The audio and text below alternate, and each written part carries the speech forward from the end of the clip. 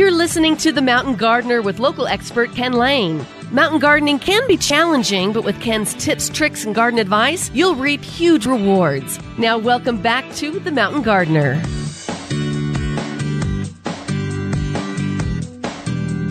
And you have tuned into The Mountain Gardener. This is your host, Ken Lain, the hostess with the mostest, at least for gardening, at least. So we go over the plants. We're in this season of transition fall. It's it's September, so it's just fall is uh, what two weeks away. So it's officially into summer, and you can kind of feel that in the air, can't you? Just this tinge. It's not as hot at night. It just doesn't get quite. The sun isn't isn't even as as intense, where your skin just sizzles like bacon. It, it, it's better. So fall's a nice time. It's also a nice time for your gardens. This is probably one of the best times to be planting trees, and so we've gotten a lot of trees in here at, at Watters Garden Center, at least. There's this season now through October where garden centers in the mountains of Arizona will be shipping their spruce, their pine, their firs, uh, the uh, cypress, the cedars, the maples, the aspens, the elms. There's a whole series. Some fruit trees will be shipping plants in because you're trying to get them in and acclimated or used to your climate so they transition from our fall, from, from where they were grown they get transitioned or, or used to our environment. So they go into that fall and then winter transition. And so they're hardier, they're more robust. And so we know, plus, we're gearing up for the fall color. So we're famous. The mountains of Arizona are famous for our fall color. So maples and aspens are probably the two most famous. Uh, and and for you folks from California, it's not, or even I guess Midwest, Japanese maples are not as robust here. They they grow, but they got to be in just the right spot. No sun, no wind, and so if you plant them in the shade, the north side of the house, and that uh, cut out by the front door where it's got a, a, that overhang. Uh, Lisa and I we grow ours in, in a con- container. At the uh, front door, right there where you where you ring the doorbell, there's a Japanese maple. So it's shaded, it's protected, and it does really well. But if you put one right outside, right in the yard, like the tag says it can, it'll burn on you. It'll do just fine now through winter. It'll leaf out in spring, and then come next summer, the tips will start to burn. It will just struggle. So you got to do a little bit of homework. This is one if you're from other areas and you hear, oh, fall is for planting, it's a good time to plant, I'm tired of my neighbors, I want a privacy screen, you can plant now, but you got to do some homework. You don't do it. If you're from Chicago or Illinois, that area, the Midwest, you, you need some help. Come talk to some plant experts or really hone up on your your your research before you commit to planting on the varieties because a, a, Japanese maple may have grown in full sun out where you're where you're from, but here it doesn't. So you really want to transition and get used to it. Uh, poor folks from Southern Cal, Palm Springs, Tucson, Phoenix, Scottsdale, you folks really basically everything that you know. Just, just erase, reboot, and start over because the seasons are totally different. The plants are completely different. Even the fruit trees are different. What varieties you plant are different. So you really, this is where you need to come alongside a friend, a garden neighbor that knows their stuff. You can tell they're a gardener because look at their yard. It's just beautiful. Knock on the door, and gardeners love to show off their gardens. You may never get out of there. You'll be having lunch, tea, cookies. You'll be having dinner before you get out, seeing all the gardens and all the ins and outs, but you'll be an expert. So I like to lean over the fence and chat with with neighbors that I know are gardeners because you just share some stuff and it just it's interesting. You can see each other's gardens. It's fun. That's part of what gardening is. Or you find a good, reputable garden center. I'm not talking box store. They don't have a clue what they're talking about, in my purely my opinion. So I'm just I go in and I I hear some of the advice. I just cringe and I put my head down and I walk away. So you need some real, I mean, you need to talk to your local plant nerds, the people that are real experts. They sit there and they, they go through neighborhoods and they see a fine specimen of, of purple robe locust and go, whoa, It does grow. Look what it does. It grows in these dimensions. That's what that silverberry or elaeagnus or native yucca or there it is growing wild. And they just track this all the time. And they can share that information with you so that you don't make a mistake. And, and again, yeah, okay, you're going to pay a, a couple dollars more at your local independent, but you'll get a better quality plant and you'll get much better quality advice. So you're not going to make as many mistakes. You may pay a little bit more per plant, but you'll pay a far less for the gardening experience because you just have more successes under your belt. A lot of this stuff has to go with like we just got back from Portland, Oregon. We're we're actually walking the fields, picking the plants. And this is what my trained eye is looking for. I'm looking for a farmer. So I don't grow my own spruce. They, it's like a 10 year crop. I, I, have some, I have friends that grow them for us. And so I'll walk the field and I go, oh, I'm looking for the fine root hairs in the hole. So it's field grown, then it's ball and burlapped, then it's transferred to a container. Then from there, it's rooted out into that pot, and then it's brought to the nursery. It's quite a process, it takes about nine months. So we're doing that right now. I'm walking the fields and I'm looking has this farmer been root pruning as the plant was growing? So when it's a seedling, it puts on a little taproot. Well, you need to cut that so it forms two taproots. Then you need to cut it again so it forms eight taproots. And so you'll get this more fibrous root mass. Critical in an arid, dry area. It's the game. It's a game changer. It's between success and failure. Uh, if you get the wrong grower, even though it looks nice, it'll look great until next spring. And then the heat will come in the middle of May, and then June will vaporize it and will turn brown all like in one weekend, turn brown and die. That's because it wasn't root pruned correctly when it was a seedling growing up. So it's the wrong grower. So you got to have that kind of experience. You need a you need a garden or nursery you can go to that's looking after your best interest. That's got some experience that can share that and help up your game, increase your success rate many of those garden successes you your failures that you had honestly it may not have been your fault I mean, it could have been the rain could have been environment can be insects can be some stuff. So that's that's gardening. But sometimes it's just the plant was wrong. It wasn't healthy when you got it. And you can't tell just by the the foliage mass. You have to look at the roots sometimes. And so that's what a good garden center does. And so if you're from uh, california if you're from Scottsdale, you really need to ask some help. You need to take your time. I know it's impulsive to just go buy that beautiful pansy basket. There's huge mums, but did you know that many of your mums are grown in greenhouses? And they're not meant even once to be planted outdoors. They're meant to be enjoyed at the Thanksgiving dinner or indoors for or outdoors until the hard freeze comes. And they are designed to die if you planted one of those and you think you're a gardener, you put it out there and it dies, you're going, oh my my, it's me. It's all my poor brown thumbs. It's not you. It's greenhouse grown, never intended to be grown outside. There's a whole series. We grow all of our mums outdoors on the ground so that they're used to the sun, the shade, and they will transition. They're even hardier mums than others. There's some species that take a four season, harsh, cold climate better than others. You need to buy that one if you want to transfer it into the garden. And so right now we've got uh, a lot of evergreens coming because we're gearing up for that Christmas living Christmas tree, the holidays. We're just getting more specimens, and that living tree thing is a big deal. And more importantly, we sell even more evergreens for privacy. Just people have been used to that open lot for many, many years, and all of a sudden there's a huge house right there in your face looking at your bedroom. We're, we're, we seem to be having a lot of our planting crews are out almost every day putting a hedgerow in, uh, plant you know, tall evergreens to kind of for privacy, that private garden thing. So you can sip tea on your back patio and, and not have your neighbors glaring in at you. So it's partly for that. And so we've got this whole series. A, a lot of maples, a lot of aspens are coming. So fresh new stock, and they're the uh, maples. I just put them on Instagram.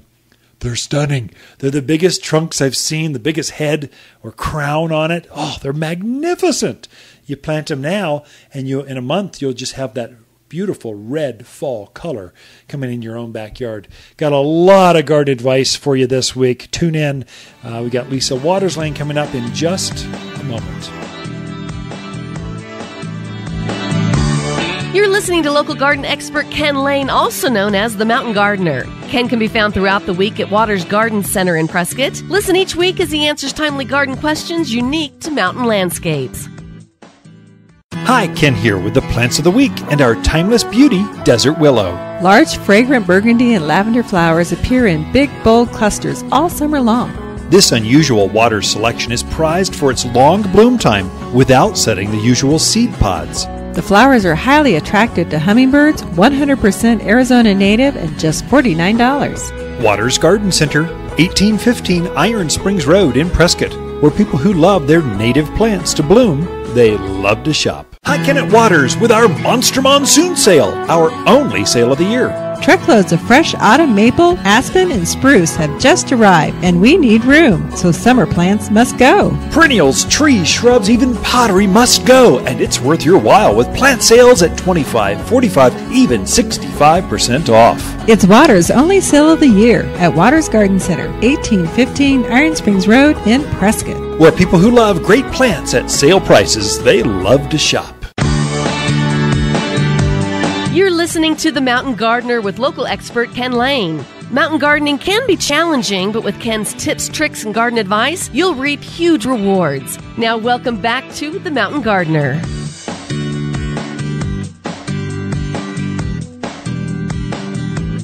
Okay, we are back with Lisa Watters Lain coming in the studio. She's got your garden questions going on. So, Lisa just helps me feel all the Facebook, Instagram. Seems like the uh, the uh, newsletter that we put out each week generates a lot of questions. So mm-hmm. they're just not sure. It's this transition season, so it's important to hear what other folks are are asking. We can learn a lot from from your neighbors. So that's what this was meant to to be. Welcome to the studio, Lisa. Thank you. So what's new with you? Other than busy, I see the greenhouses are totally changed over with uh, fall fall colored. Another uh, transition time of year. Yeah, yeah, yeah, it is. Yeah, so you bring in your cool season stuff, your snaps, your ornamental kales. Pansies will be arriving any day. So yeah. Yeah, that's good.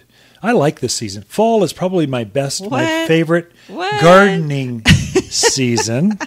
My favorite season is summer because I like to play. I like the outdoors and I like the heat. Mm-hmm. I'm just a heat guy. I'm a lizard. I'm crawling up on a rock and just warm up throughout the day, and I just love it. Mm-hmm. So suntans and uh, fall it bothers me a little bit because the days get shorter and I just know what's coming.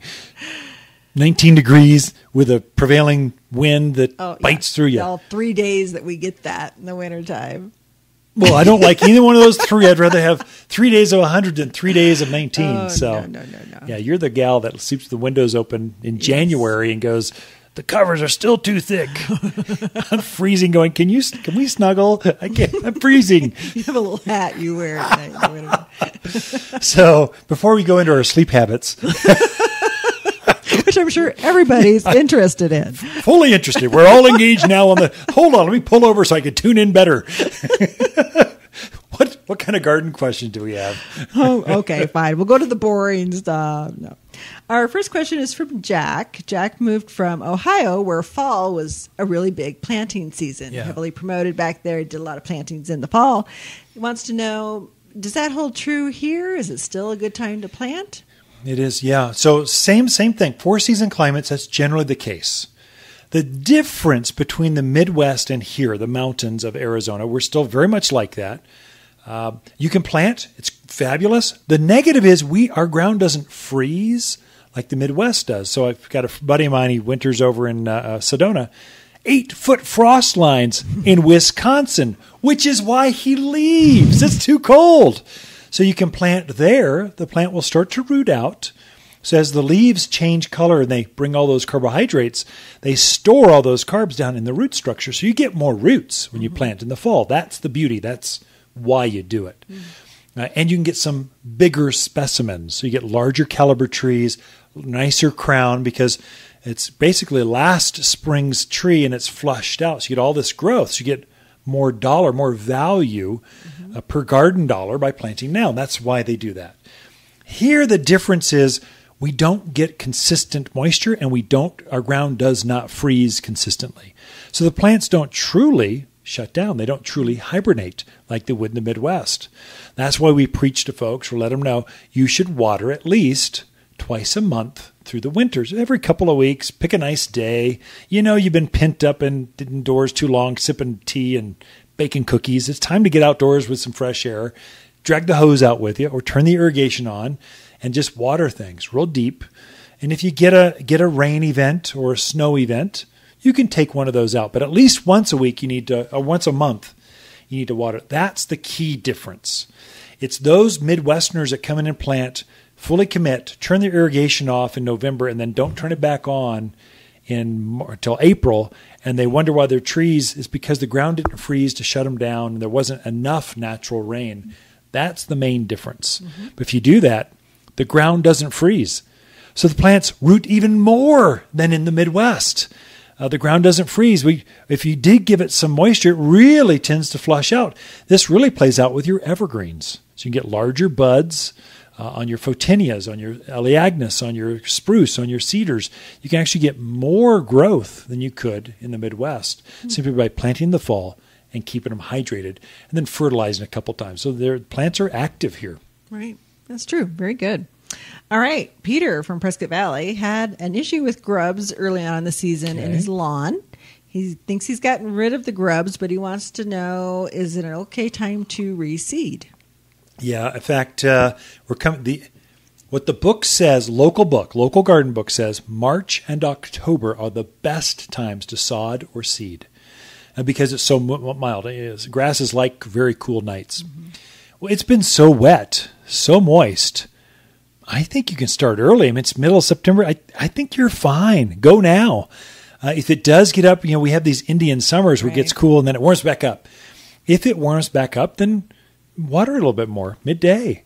Should be fine, but it will germinate within almost hours right now. I mean, it's you put mm-hmm. seed, a bluegrass or ryegrass or fescue down right now, it will germinate by the end of the week it's you'll see little green tufts coming up. So it'd be great to recover from that. But the main thing, watch for grubs because the beetles have been laying their eggs now. The damage is done late summer, early fall, and then early next spring. So really keep an eye on that. If you've had grub issues, you'll probably have grub issues again because mm. the beetles know that's the best place. They right. like that, and you're in the middle of beetle uh, alley, so to speak. So grubs are a, a beetle larva so it's a worm that eats, lives in the ground two years and eats the roots off of plants. And they love lawns, they love flower beds.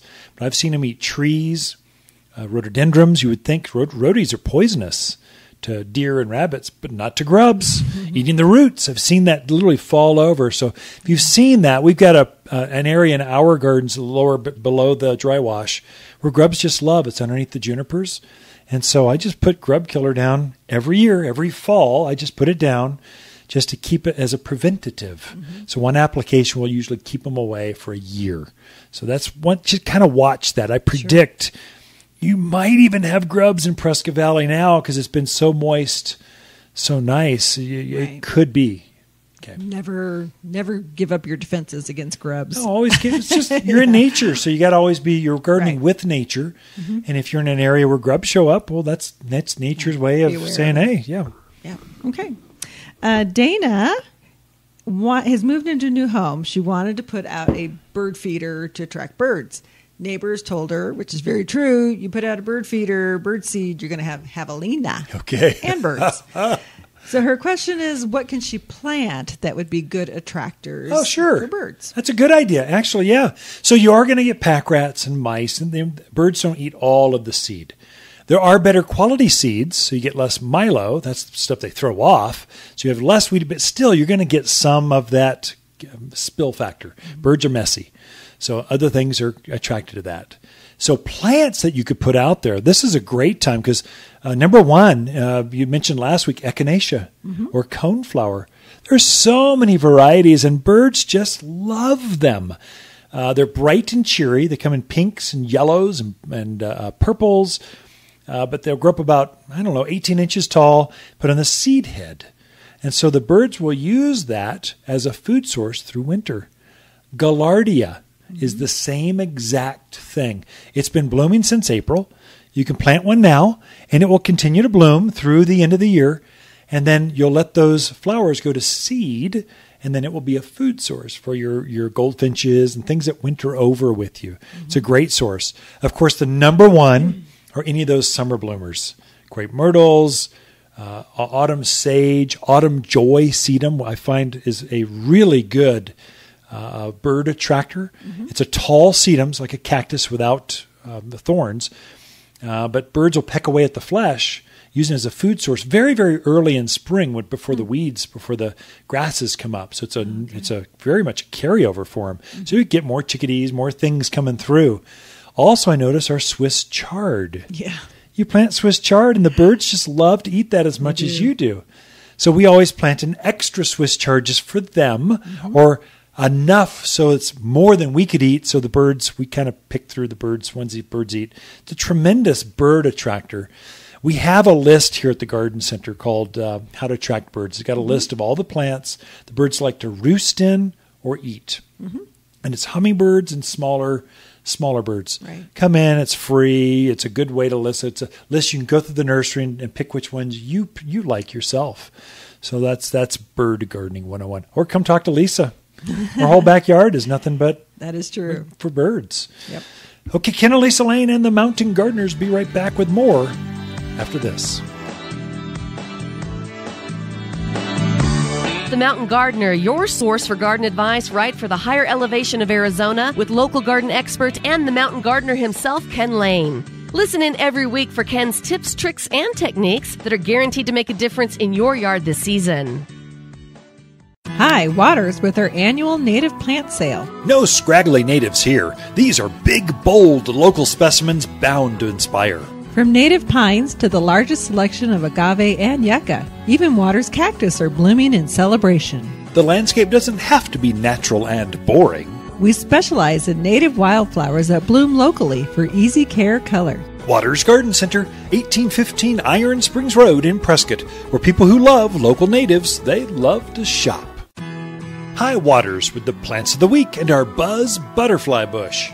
Buzz is Prescott's first patio sized butterfly bush. The superior magenta flowers outshine our local natives and the perfect size for courtyards and patios. Add some fashion color to that native landscape or simply give to mom as a gift. It's simply that pretty, all for under $40. You'll only find them at Watters Garden Center, 1815 Iron Springs Road in Prescott, where people who love magenta flowers love to shop. You're listening to The Mountain Gardener with local expert Ken Lain. Mountain gardening can be challenging, but with Ken's tips, tricks, and garden advice, you'll reap huge rewards. Now, welcome back to The Mountain Gardener.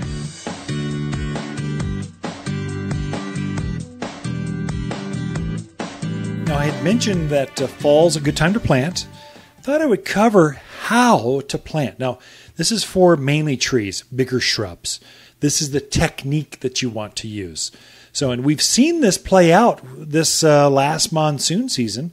It's been wet, and some of the plants have been stressed out. You're planting so that next monsoon season you can shed some of this water away from the roots because plants get overwatered this time of year.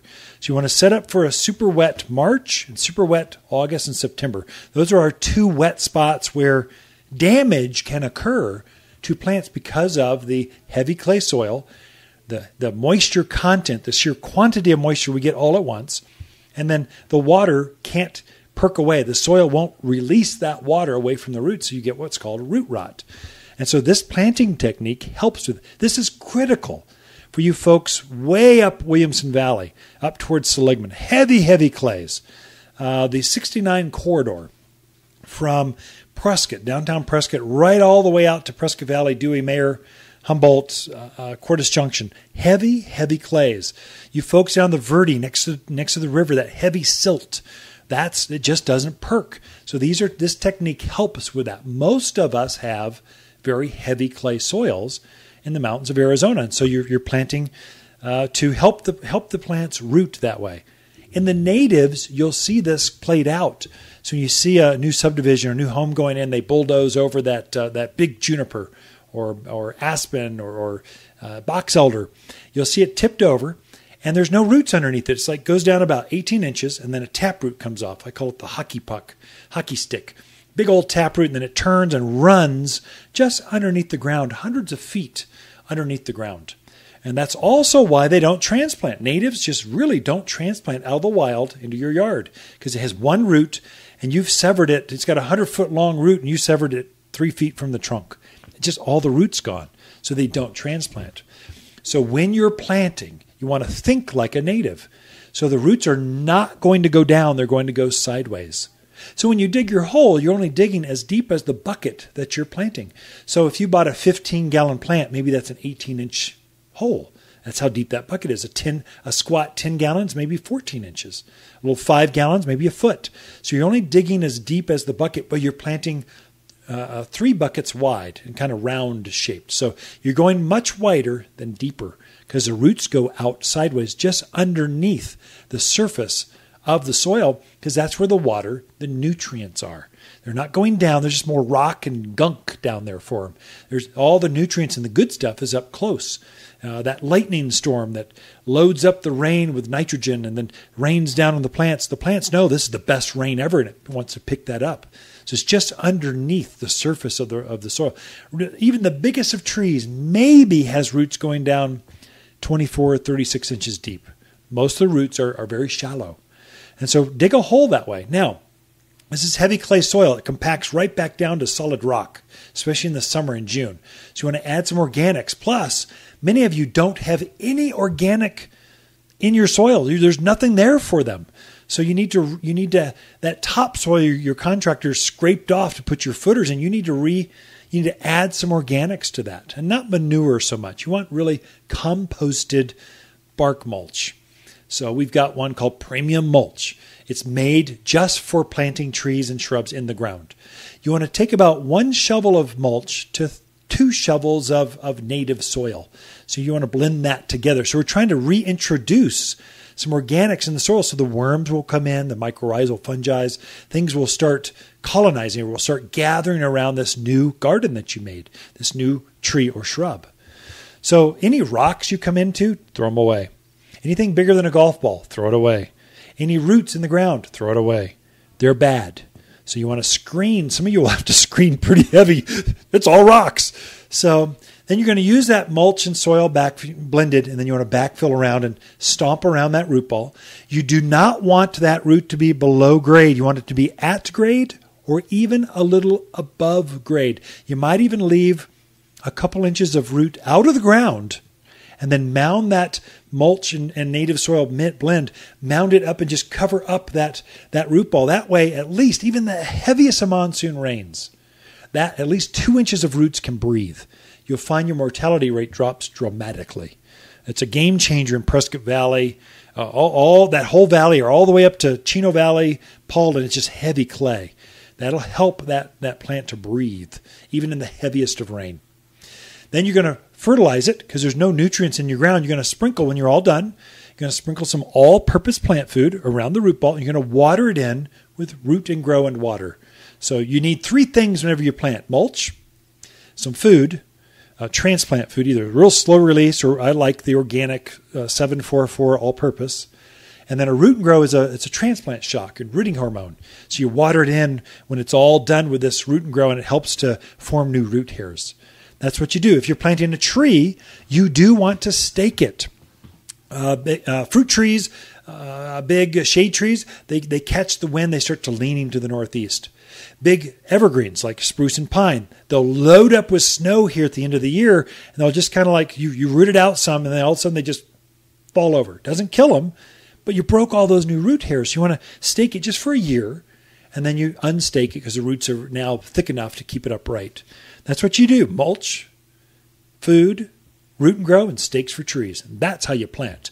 I've got a free handout here at Watters Garden Center. It's there for you. It's got this, it's got pictures, it's got well, it tells you how much of each, goes into details if you need more on how to plant in Arizona. The Mountain Gardener, your source for garden advice right for the higher elevation of Arizona with local garden expert and the mountain gardener himself, Ken Lain. Listen in every week for Ken's tips, tricks, and techniques that are guaranteed to make a difference in your yard this season. In a new place, it's difficult to know who to trust, how to get help at the house, and which nursery will simply do what they say they'll do. At Watters Garden Center, we're here to help, in the landscape at least. Our team of plant ambassadors know your neighborhood, the plants that add color, increase privacy, and add fragrance and beauty. And we can show you exactly how to plant locally, or we have teams to do all the work for you. We are Ken and Lisa Lain, and we guarantee our plants will live up to every promise here at Watters Garden Center. I hate weeds. Monsoon rains are so refreshing, even my landscape comes alive, but so do my weeds. Stop weeds in their track in one simple step. Watters weed and grass stopper spreads like fertilizer. It kills weed seed before monsoon rains allow them to sprout. No need to weed. It's safe for trees, even flower beds, and so much safer than that toxic waste the big box sells. Weed and Grass Stopper, it's just $24 and only found at Watters Garden Center in Prescott. And we are back with Lisa Watters Lain in our inspiration section. This is the area where, if you just want more fragrance, more beauty, more privacy, more color, uh, more blooms, more vegetables. Lisa, this is all about her and anything she's got in her head. We share, and it's it's uh, kind of makes us all a better gardener. So you have, I would define your gardens, Lisa, at least Mm-hmm. the front area, uh, where it's main that's your thumbprint, as beauty, Oh, relaxation, thank you. uh, kind of therapy, kind of just you just want to sit down and just take it in from Mm-hmm. from the sound of running water at the distance to hummingbirds floating across to chickadees eating sand out of the pavers uh, and everything. It's just fun to be out there in Mm-hmm. the morning sipping coffee or.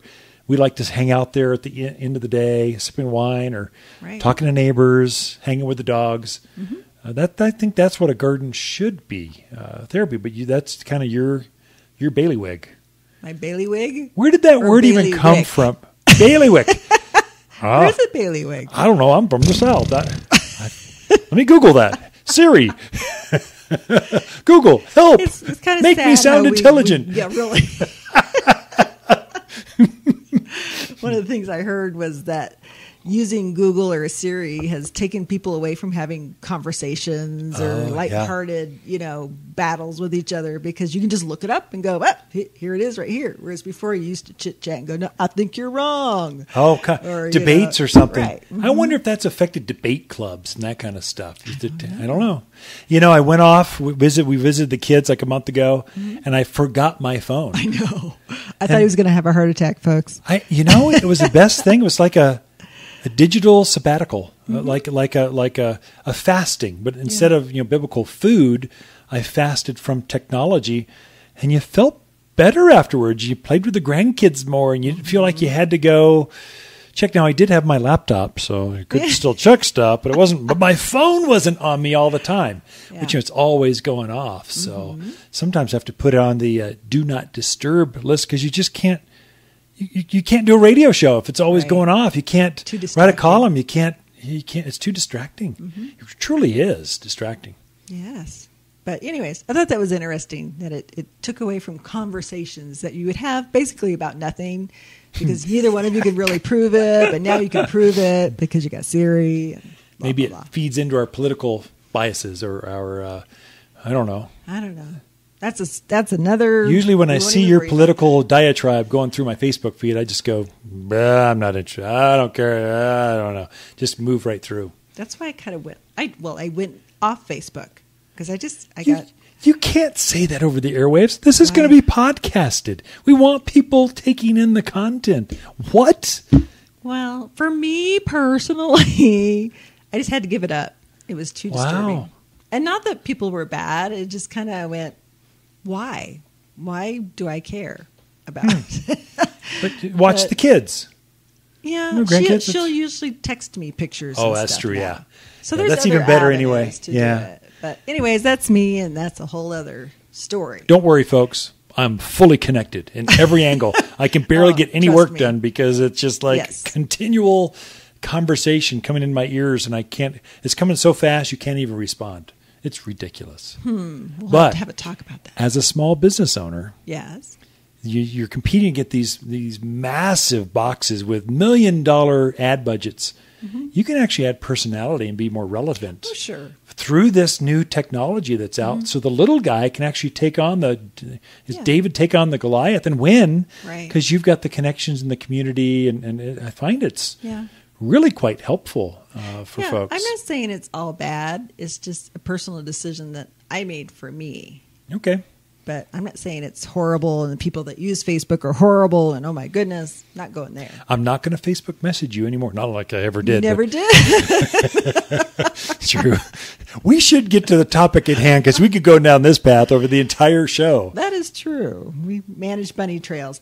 So right now we're kind of, at least in my own garden, I'm switching over a lot of my pots, things in my pots, because number one, they're just looking ratty. Like some of my petunias just stay too Yeah. wet during the monsoons, and wet feet on petunias are not happy campers. So they were just looking ratty. The worms had gotten to them. I thought, eh, it's time to switch them out. So I started thinking, you know, it's it's a it's a good time to look for those perennials and annuals that you want to put in your yard that give you great late summer, early fall color. Because every garden has seasonality to it, right? So you you know, you look for the things early in the spring that look terrific, and then you get the heat of summer, and you look for your geraniums and your marigolds. And now it's time to look for those things that like more cool season stuff. And this kind of stuff you can plant now and it will keep even a mum. Mm-hmm. I love mums because there, there's nothing more. They're so full of flowers you can't even see the foliage. It's amazing. They go with pumpkins and gourds and all this. They just scream mm-hmm. scarecrows and Halloween and fall. Uh, but even when they fade, they have this beautiful straw color and the structure is vase shaped and it's like a big pom pom that, that's just like been been frozen in time and, and straw colored. It's still beautiful. Right. And now we'll keep it there by the hot tub until the seed heads start floating off and all the petals start floating into the hot tub and going, okay, that's enough. You're out of here. That's that's usually January, February before that happens. Right, right. There's a lot of perennials that's because we don't freeze early here. Yeah. That just keep blooming and blooming and blooming and look gorgeous late, late into fall. Thanksgiving. I think last year I had some that were just Yeah, that's absolutely true. stunning Yeah. at Thanksgiving. Mid, I think it was mid December before things truly, even even the geraniums collapsed mm-hmm. in December. It's crazy, and that's what new folks that, that maybe have tuned in. Uh, we have what's Indian summer. I don't know why they call it that. and It's almost offensive. Native sure- American sure summer. Some offensive reason why. it's it's this false. It, you think it's fall, and he goes, "Nope, it's summer again." And then it goes, "Nope, it's going to be fall again." And then, "Nope, it's summer again." Just like spring, you think it's really nice weather, and then it goes to winter. Think it's really nice weather, and then it goes to winter. So you need plants that can can take that. that. Yeah. Sure, So what kind of plants can we put in pots right or now? in the ground, Or in the ground, okay. You bet. Well, I think one of my f- my favorites right now that are just looking terrific is anything in the echinacea or the cone flower family. Yeah. Um, most people remember the traditional purple one, but they're coming up with some colors like the Cheyenne Spirit is yellow with oranges. Uh, the powwow berry is a bright, bright like pink, neon pink yeah. um, sombreros and salsas that are really red colors that really lend themselves nicely to fall that fall palette you know that you want to bring in. And they'll just keep blooming their little hearts out until we get a really hard frost. And they're great for the birds too which i think we mentioned that in Yeah. another segment of how the birds just pull that seed. If you let the seed head dry on there um, they like that seed. Plus it can reseed in your yard as well. So that's kind of one of my favorites right now for putting in. Um, the other one I really like is the, uh, a salvia that's called ultraviolet. Oh. And the reason I like this one, it is actually very cold hardy, more so than the autumn sage or the um, other salvias, the hot lips, that kind of thing. This one is much more hardy. It does have a purple bloom to it, but it's going to bloom a lot longer because it is so cold tolerant. Oh, interesting. Very so nice purple is it lavender or true purple? It's pretty much a true purple. Really? Oh no. It's Oh, darker nice. than lavender. Yeah. Yeah. Okay. It's very, very What's nice. the name of that again? It's ultraviolet. Ultraviolet. Salvia. Sounds like a superhero. Yeah, it sounds like a name or superhero. Yeah, going to take on like a Batman. This is uh, ultraviolet. Right. Um, one that we have in right now is Monarda, which is bee balm. If people aren't familiar with that, they have a new one called Bee-You Bee-Free. Um, and the great thing about this one is it fights the powdery mildew. Now, a lot of people, if they're familiar with that, bee balm gets powdery mildew because of the time of year, you know, with the moisture. This one does it. It's very resistant to that. And the flower is just like this purple, knock your socks off color. That's a tall flower too. It's an herb, Yeah. so animals are going to be less likely to eat it. And then gets up probably about hip high, maybe a little little shorter than that. It's a tall thing. And it's beautiful. a great pollinator Oh, yeah. plant. Yeah. Absolutely fabulous for pollinators. Uh, snapdragons, which of course we've mentioned. Who doesn't love snapdragons? I love Oh snapdragons. Yeah. They animals don't eat them. They bloom forever. They'll even winter over. They'll probably take a break in the deep of winter, but they just keep on going. So check out the snaps, and of course the mums, course, and a yeah. bunch of other things. The grasses. The grasses look fabulous right now. So lots of things you can plant now that are coming in. So it's kind of the summer things are out, and the whole greenhouse has been shifted over to things you can plant and enjoy through the end of the year. Thank you, Lisa. Okay, Ken and Lisa Lain and the Mountain Gardeners. Be right back. The Mountain Gardener, your source for garden advice right for the higher elevation of Arizona with local garden expert and the mountain gardener himself, Ken Lain. Listen in every week for Ken's tips, tricks, and techniques that are guaranteed to make a difference in your yard this season. Forsythia already flowered. Lilacs languishing in the heat. Spring bloomers already pooped? Butterfly bushes are going strong and rebloom all summer long. Pollinators like butterflies and hummingbirds love butterfly bush for their fantastic fragrance and bright summer colors. These tough head high beauties love summer sun and bloom nonstop. Fresh new plants just arrived at the place where people who love butterflies and butterfly bushes, they love to shop. Watters Garden Center in Prescott. Hi, Kenneth Watters with our Monster Monsoon Sale, our only sale of the year. Truckloads of fresh autumn maple, aspen, and spruce have just arrived, and we need room, so summer plants must go. Perennials, trees, shrubs, even pottery must go, and it's worth your while with plant sales at 25, 45, even 65% off. It's Watters' only sale of the year at Watters Garden Center, 1815 Iron Springs Road in Prescott. Where people who love great plants at sale prices, they love to shop. So we mentioned how to plant trees and shrubs at the bottom of the hour, uh, bottom of the show. Why don't we go over the exact trees? Which ones seem to grow the best here in northern Arizona? And, and it's going to be totally different than down in, in the valley area, the desert areas, the Tucson area, uh, all those deserts, the river uh, country, know, Bullhead City. Uh, have I mean all those areas? They're hot. Our plants won't grow there. You can't plant a pine tree, a spruce down there. They'll just vaporize in summer. They'll live through winter, then they'll vaporize. So these are plants for us in the mountains, from from Kingman to the White Mountains, from Holbrook and Flagstaff and Williams down to I'd say all the way down to Black Canyon City, those areas that just as you just before you transition down the hill uh, into the deserts, all of us. Of course, Sedona, Camp Verde, Cottonwood, all those areas. This this is for us. Okay, here's the here's the selection. Of course, aspens grow wild in the mountains. We're surprised when you put them on irrigation. They'll go down. They'll grow. I've seen them down to four thousand foot level. So I've seen them Skull Valley, Bagdad, uh, Kirkland, uh, not Bagdad, but Kirkland. Uh, uh, those, those areas. It does really well. So at the higher elevations, they'll naturalize in a couple of years and can go on their own. But here locally, put them on a drip system, treat them like anything else, and you'll have that classic white bark. Did you know there's two types of aspen though? There's Swedish aspen. Swedish, it's got a different leaf to it, very white bark, but the leaf is more uh, serrated and doesn't tremble, doesn't doesn't have that motion that that your local native does. Populus tremuloides or trembling leaf as uh, poplar. That's that is actually our aspens. That's the one that you want to grow. So that's one we have here. It comes in multi trunks or single trunks. Very good choice. Birch is a similar one. It's got a white bark.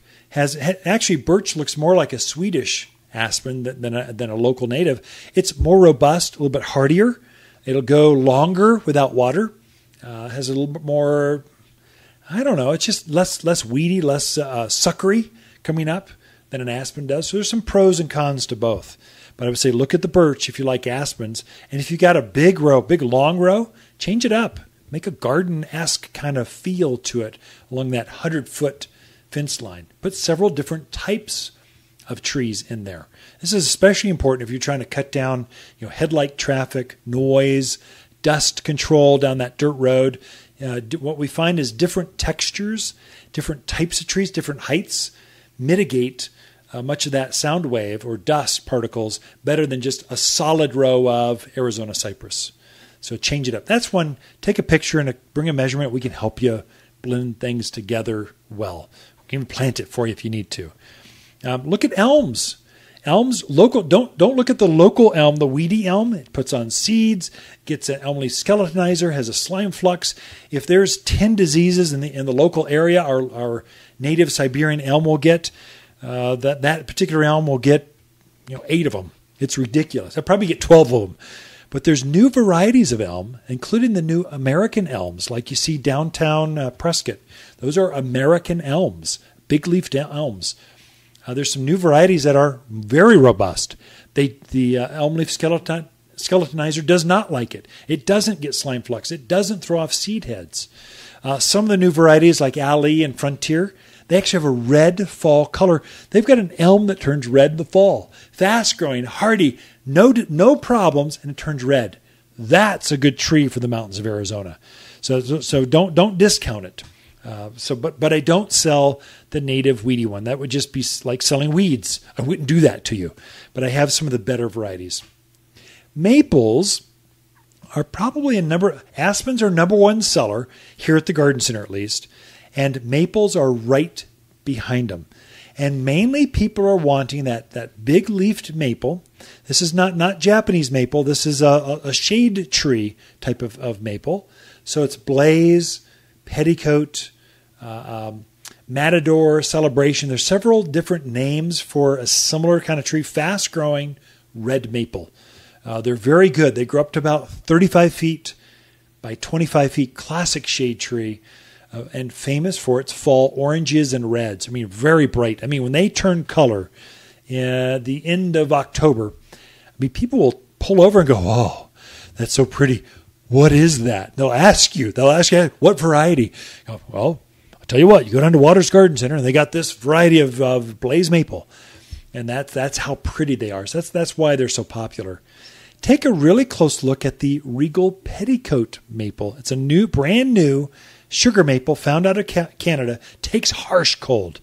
It's got a thick leaf, so it takes dryness. It's a slower grower. It will get up to size, but it'll be about half the pace of, let's say, a blaze maple. So it's much less need for pruning, for shaping, for, for crowning. Um, easier to maintain. And the interesting thing about Regal Petticoat it's got a two toned leaf. It's green on the top and purple on the bottom. Super unusual. And the top turns orange in the fall of the year, and the bottom turns a, a, fuchsia color. Super interesting maple leaf, classic maple leaf, but just has a lot going on for it. Very pretty tree and very new. One that is probably the one that turns the very last tree to turn red in the fall of the year are your ornamental pears. There's there's actually fruiting pears. They would also turn real late, but they put on fruit. Many of you don't want the fruit off of a tree. Some of you do, plant a pear tree. But there's a whole series of ornamental pears. They get the same white flower in the spring, have the same glossy leaf in the summer, great shade tree up to about 30 feet by 15 to 20 feet. It's a nice shade tree for the middle of the yard. Uh, very robust very limited insect issues, low care, but it's the, about Thanksgiving. It turns this just profound red. I mean, it's just bright, like fire engine, even even deeper red than a fire engine red. Very bright red. And then about Thanksgiving, first part, middle of December at the latest, it's done. And now we're into winter and then all your evergreens start to show off. This is when your spruce and your pines and your firs and your cedars and your cypress they start taking center stage. Uh, that's when they like to really shine. That's when that that you know people will come in going, I don't know the name of this tree, but it looks like a Christmas tree. Okay, that's going to be a spruce. There's only one thing that looks like that, and that's a, a spruce. There's several varieties of spruce. Go with Hoopsii spruce, does very well in the mountains. You've got uh, Baccarat spruce, very, super bright silver blue. It's not blue, it's silver. It's that kind of classic central leader, swooping branches, but silver. Of course, the most famous of all of them are the Colorado spruce. And then the dwarf of the Colorado is called Fat Albert spruce. All of them do really, really well at all elevations here in the mountains. Uh, they'll take our snow, they'll take our cold. Uh, you can plant them now. You can decorate them in a couple months, make them look all festive and holiday-ish. Put some bows on them and some lights, and they're just cute as can be. Uh, we we take one home and put them. We don't even take it out of the pot. Put it by the front door, decorate it, just have it there, and then when you're done, we bring it back to the nursery and we sell it. But uh, it's it's you can keep on going. You could go plant it right afterwards in the yard if you need another spruce tree. Here's it's a decorative thing, and so they do really really well. Probably the fastest growing of all of the evergreens is deodar cedar. This is a monster of a tree. Be careful. You, you, don't put it in a small yard. This takes some serious real estate.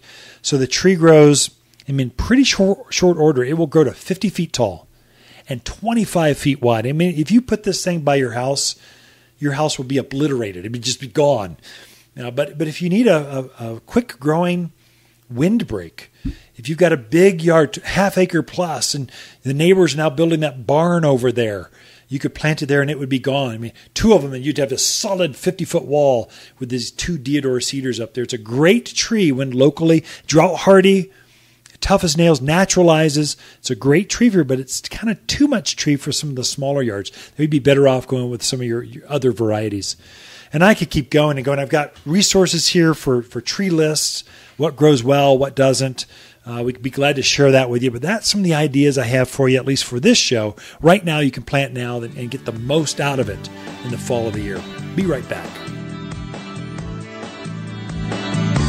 The Mountain Gardener, your source for garden advice right for the higher elevation of Arizona with local garden expert and the Mountain Gardener himself, Ken Lain. Listen in every week for Ken's tips, tricks, and techniques that are guaranteed to make a difference in your yard this season.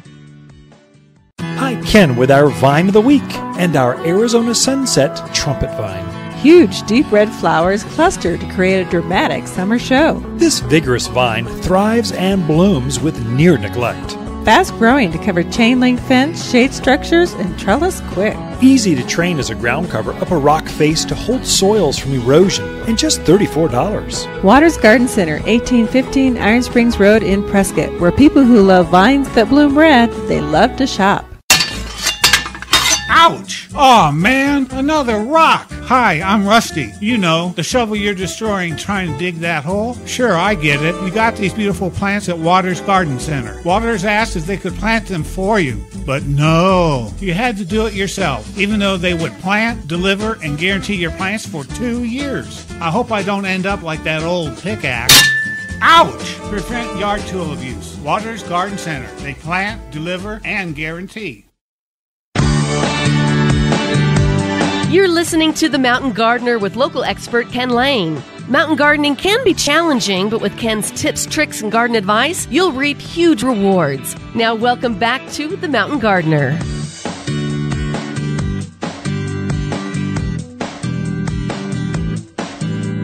I mentioned at the bottom of the hour how to plant trees. And then I just went over, we just went over a whole list of some pretty substantial trees, pretty nice looking trees. Best to plant trees in the fall, so you get that fall rooting. Uh, water them through winter a couple times a month, and then you'll get another flush of roots next spring, and then you'll get more top growth. You get more elongation on the candles of your evergreens, and you'll get longer branch structure on your uh, fruit trees and your shade trees. So that's why it's so good to plant in the fall. Just make sure you water midwinter. If you're planting trees, especially especially evergreens, make sure you stake them. I see so many blunders, so many of my competitors, so many other folks go out and they, they plant them, go, ah, it's heavy enough, it'll stay up by itself. But you know, four, five, six foot spruce or pine or fir, and, and you load it up with snow in January, you've had another six inches of roots grow out on this plant, on the root ball and it's it's starting to establish. You've been watering, you've been caring for it. Then a heavy snow comes January. You get 50 pounds of snow load on this this tree. It's fine, doesn't hurt the tree, but then it it just kind of flops over and it's laying crooked in the root, in, in, in the ground. Well, yes, you can prop it back up, and yes, it will be fine, and yes, it will leaf out. Yes, it'll be it'll be healthy, but you lost all that that six inches of root. You want to keep those, and so you stake them. So when our crews are coming out, we automatically, even squatty little four, three, four foot trees, we will stake them.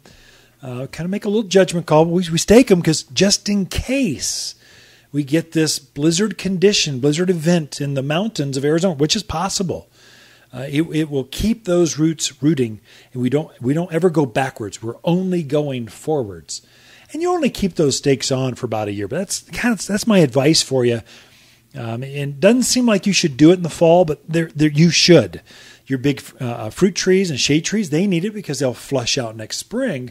Then they become these huge parachutes. Just they catch all the wind, that prevailing southwest wind. Then they start to lean to the northeast, and all of a sudden you got this crooked tree. If you just staked it for a year or two, it's good to go.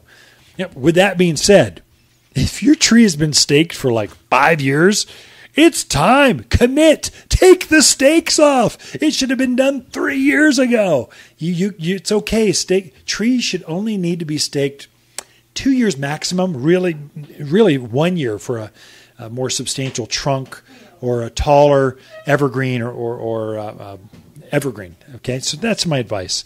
We go into this a lot uh, with our classes. This Saturday, we've got uh, several really good garden classes coming up. It's uh, the secret garden, how to plant evergreens, hedges for privacy. So if you've been wanting to screen out that neighbor, come this Saturday, 930. Next week, it's how to deal with, with a deer and javelina and rabbits and pack rats and bugs and grasshoppers. We're going over wildlife and bug prevention, just how to garden in nature without it taking over. Then we go into fruit trees, September 22nd. Every Saturday at 9:30, we've got a free garden class. Come out, get to hang out with really neat gardeners. But fruit trees, you know, which ones can you grow? How do you how do you deal with? We'll probably go into grapes, uh, peaches, apricots, nectarines, apples, pears, and this and the like. And then planting for success. We go hands on the last Saturday in September. How do you actually plant? We'll go deep into that subject with living examples. So it's, it's I think it'll be a real plus for a lot of you. Of course, throughout the week, we love iPads, iPhones, and just technology. Take a picture, bring it in. We can see what companion plants are. You can zoom in. You can see a lot. It's amazing, this technology, but it's there to help us help you. Throughout the week, Lisa and I camp out here at Watters Garden Center. Come in, say hi, tell us you've been listening to the show. The Mountain Gardener, your source for garden advice right for the higher elevation of Arizona with local garden expert and the Mountain Gardener himself, Ken Lain. Listen in every week for Ken's tips, tricks, and techniques that are guaranteed to make a difference in your yard this season. This is Ken Lain, the owner of Watters Garden Center, and we're here at the Garden Center floor asking customers, why do you garden? Very relaxing and interesting, and I love watching the hummingbirds in the summer. And why do you like shopping at Watters Garden Center? There's so much variety, lot of choice, and everybody knows everything about the stuff they sell, which is very good. Watters Garden Center, helping people reconnect at 1815 Iron Springs Road in Prescott, the place where people who love to garden love to shop. You've been listening to local garden expert Ken Lain, the owner of Watters Garden Center in Prescott. Join him each week as he answers timely garden questions unique to the area. He can be found throughout the week at Watters Garden Center, located in Prescott at 1815 Iron Springs Road. Thanks for tuning in to The Mountain Gardener.